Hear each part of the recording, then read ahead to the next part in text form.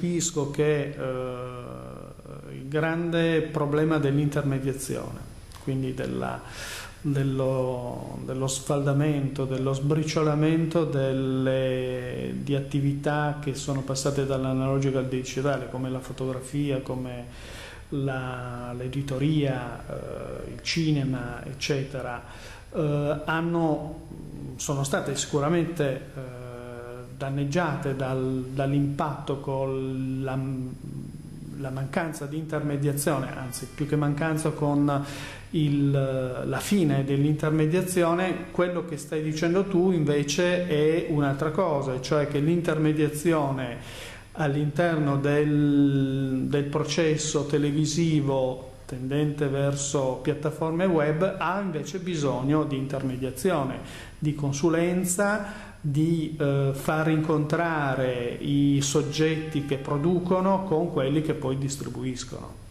È giusta questa interpretazione o no? Assolutamente, la condivido in pieno. Ti faccio un esempio americano. Eh, negli Stati Uniti, dove il fenomeno YouTube eh, ormai produce autentiche star in grado anche di attrarre investimenti milionari, eh, si sono formati negli ultimi 2-3 anni, quindi non parliamo di un qualcosa come eh, le grandi emittenti via cavo che esiste da decenni, che esistono da decenni, parliamo veramente di un fenomeno recente, si sono formati uh, dei network, uno fra i tanti Maker Studios è partito con un investimento di venture capital di un milione e mezzo di dollari e nel giro di meno di 24 mesi uh, ha venduto uh, neanche la maggioranza, una quota della società per 40 milioni di dollari a un pool di,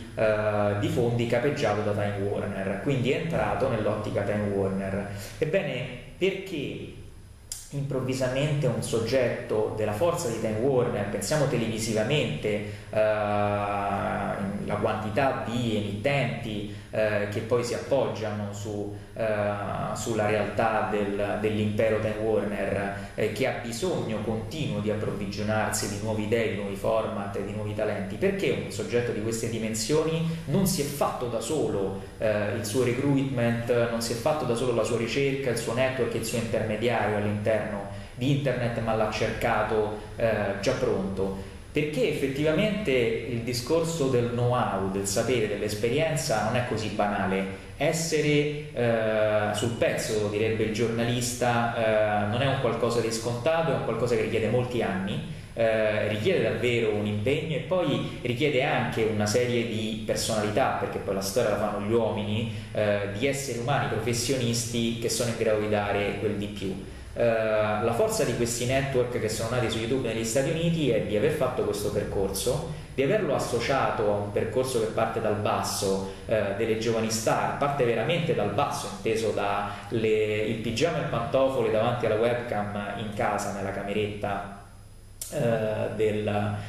dell'adolescente, per poi via via arrivare agli studi Maker Studios uh, hanno con il loro primo seed di Venture Capital affittato degli studi televisivi a Calver City, uh, arriva quindi poi finalmente all'abito firmato e addirittura può cominciare ad ambire, non dico le prime serate, ma insomma quantomeno un access time, una seconda serata televisiva. Ebbene, questo tipo di percorso uh, è un tipo di percorso che oggi non eh, va più a coinvolgere una, 5, 10 persone, parliamo di strutture che coinvolgono centinaia di talenti eh, e un numero ancora maggiore di operatori, producer, autori, quindi parliamo veramente di migliaia eh, di eh, professionisti che vanno e hanno necessità, che vanno online, hanno necessità di eh, intermediari e professionisti, nonché di produttori a loro volta che ci credano, che riescano a fare da collante fra il loro meccanismo distributivo dal basso e le esigenze che arrivano dall'alto dei grandi gruppi.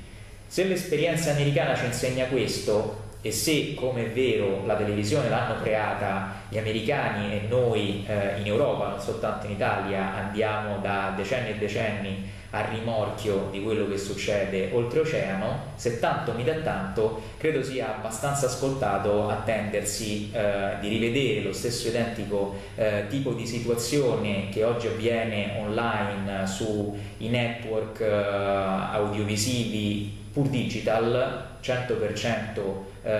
online e larga banda, dicevo mi attendo di rivedere la stessa identica situazione anche nella penisola nel giro di 3 o 4 anni, non di più, arrivare anche ad alti livelli.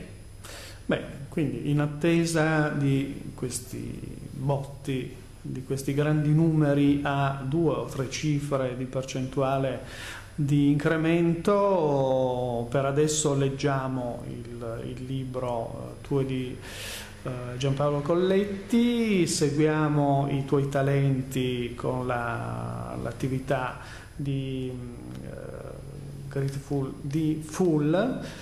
e speriamo poi di vedere qualche nuovo programma prodotto come autore da te per, per la RAI. Per ne adesso sto, ne, ne, sto ragionando parecchi, ho nel, nel cassetto parecchi format naturalmente e inevitabilmente legati ai social media. Eh, diciamo che i tempi potrebbero anche essere maturi. maturi. Speriamo, incrociamo le dita. Benissimo, ti ringraziamo molto e alla prossima allora. Grazie. Grazie a te Giorgio.